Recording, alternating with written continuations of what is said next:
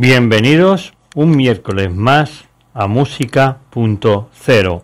Hoy vamos a tocar un grupo español en la década de los años 80. Os hablamos de un grupo nacido en Madrid a principios de la década de los 80 que destacaron por arriesgarse en montar un espectáculo para los conciertos en directo, intentando llegar a nivel de las grandes estrellas del heavy metal internacional. Además buscaron escribir unas letras y expresar una actitud y un sentimiento que conectaba con la gente y que les seguía para lograr una identificación ante el público y el grupo, como indican ellos mismos en una entrevista, todas las canciones de Obús, unas más que otras, nos aportan y nos dicen algo. Eso es lo que decía Obús en una de sus entrevistas y es el grupo que os vamos a hablar, de Obús. Lejos de renegar de su propio estilo, siempre reivindicaron su condición de grupo de heavy metal. Incluso a este estilo dedicaron una canción de su primer álbum titulada Dosis de Heavy Metal. Para su 30 aniversario realizaron una gira por España y llegaron a superar el millón de discos vendidos durante toda su carrera. Pero vayamos al principio. En los primeros meses de 1980, dos jóvenes madrileños, Juan Luis Serrano y Francisco Laguna, bajista y guitarra, que ya se conocieron en otras formaciones como Red Box y Madrid 20, decidieron formar Ubus. Ganaron el Festival de Rock Villa de Madrid en 1981 y telonearon a Barón Rojo. Al poco tiempo grabaron Prepárate, producido por el fallecido Tino Casal.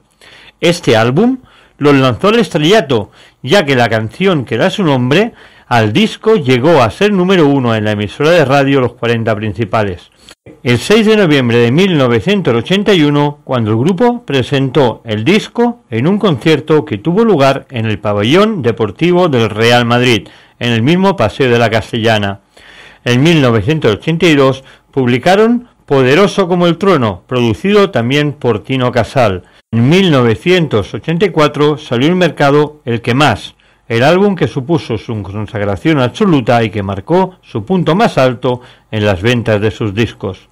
Este álbum fue grabado por Mark Donmon como ingeniero de sonido y productor de Judas Pride.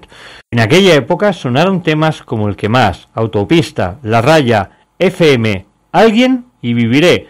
Obús luchó por su permanencia en la vanguardia del heavy metal español, dando grandes actuaciones en los diferentes festivales, donde participó en la Casa de Campo, en la fiesta del Partido Comunista, con más de 20.000 asistentes. Esos conciertos vivieron los momentos más gloriosos de la música española.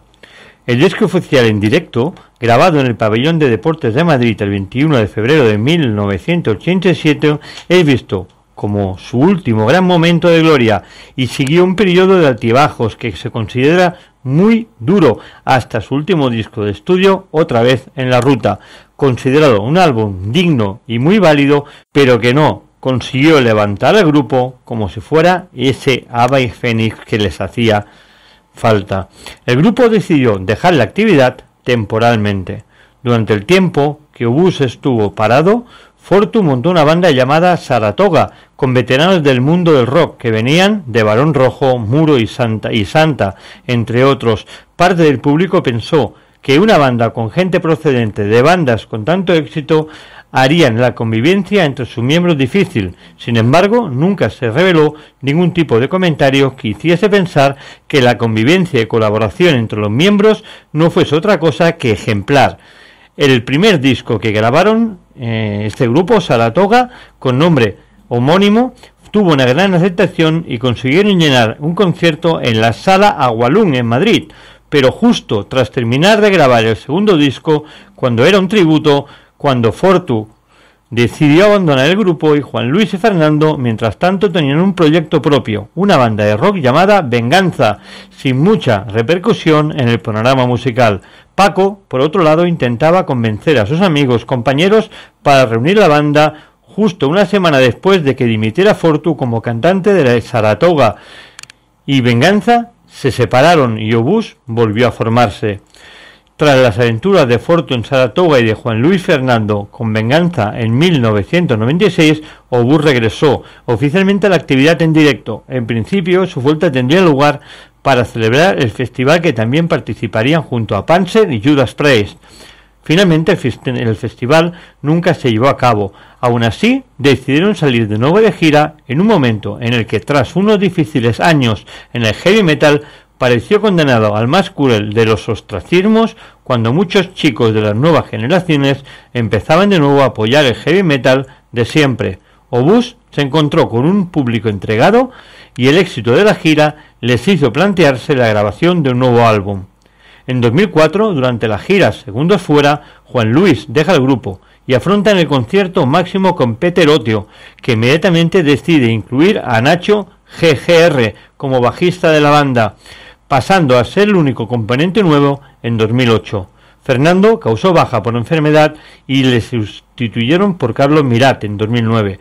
Durante una gira por Hispanoamérica, Nacho GGR dejó la banda para ser sustituido durante un par de años por Pepe Bau, bajista de Ofunquillo. La discografía, pues todos la sabemos. En 1981 el álbum Prepárate. En el 82 Poderoso como el trueno. En 1984 El que más. En el 1985 Pega con fuerza. Un año después Dejarse la piel. En el 1990 ya entramos en la época del 90 otra vez en la ruta, que fue el primer LP después de su separación y vuelta a los escenarios. Luego en el 2000 sacaron otro LP que era desde el fondo del abismo. En el 2003, segundos fuera. En el 2010, Cállate y con un par en el 2019. Luego tuvieron dos álbumes en directo que era el 21 del 2 de 1987 y el de Madrid al infierno, un directo de 2012 los recopilatorios que hicieron esta banda fue cuando estalló al descargar recopilatorio del 2001, Vamos muy bien, que eran 30 grandes impactos y recopilatorio de 2006, Sirena de Metal, un recopilatorio de demostraciones y directos de 2014, y Siente el Rock and Roll, cuatro canciones nuevas y actualización de grandes temas del 2015.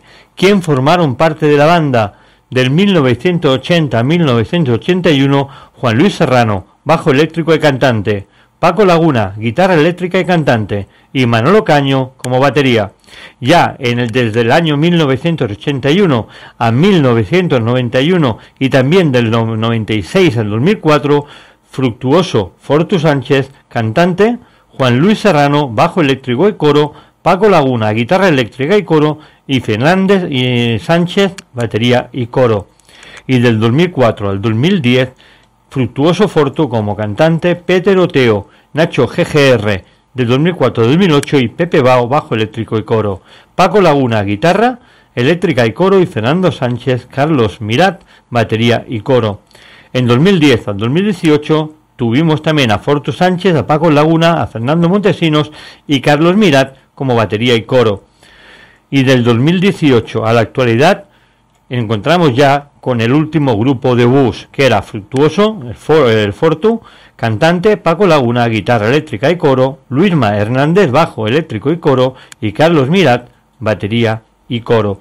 Tenemos muchas referencias de bus, tenemos muchas canciones, pero hay una que a mí me llega al corazón. Es una canción que se llama Dinero y Dinero.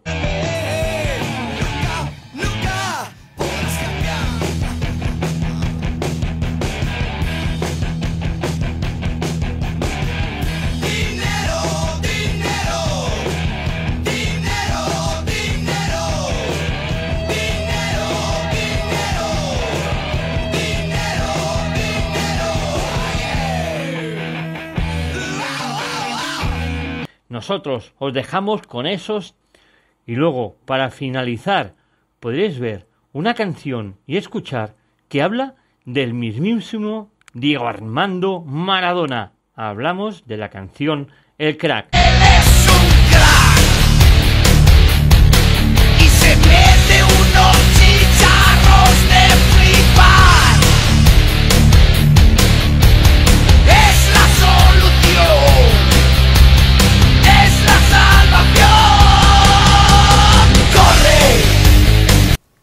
Pues ya lo han escuchado a ustedes amigos. Dinero, dinero y el crack, dos grandes canciones de Obus que hoy os hemos presentado aquí en Música.cero en este programa de Curiositats TV. Como siempre os digo amigos, hasta la semana que viene, rock and roll y mucho más. Hasta luego amigos, os quiero.